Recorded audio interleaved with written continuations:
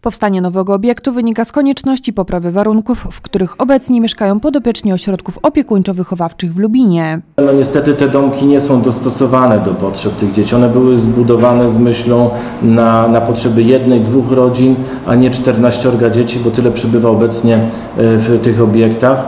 E, Z drugiej strony, czy one są funkcjonalnie niedostosowane do tych potrzeb.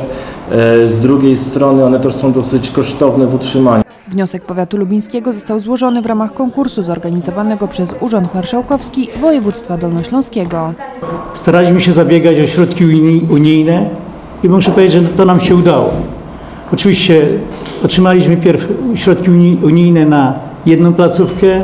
Liczymy na to, że również pozostałe e, wybudujemy przy współudziale środków unijnych. W sumie będą trzy budynki. Ten obecny jest na ulicy Wierzbowej. E, Dwa pozostałe wnioski są na ulicę e, Budziszyńską i Bilińskiego. Placówka ma być nowoczesna i dostosowana do potrzeb wychowanków. Miejsce w niej znajdzie 14 podopiecznych. W placówce będzie m.in. świetlica oraz sale do ćwiczeń. Dodatkowym atutem ma być energooszczędność budynku. Jest to dom, który ma bardzo niskie zapotrzebowanie, ale tej energii, nazwijmy to użytkowej, czyli której jeszcze nie skażonej przez człowieka.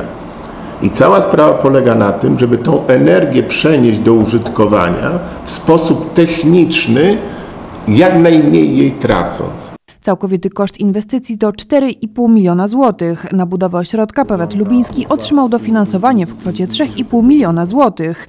Prace budowlane rozpoczną się na przełomie sierpnia i września. Docelowo w Lubinie mają powstać trzy takie placówki.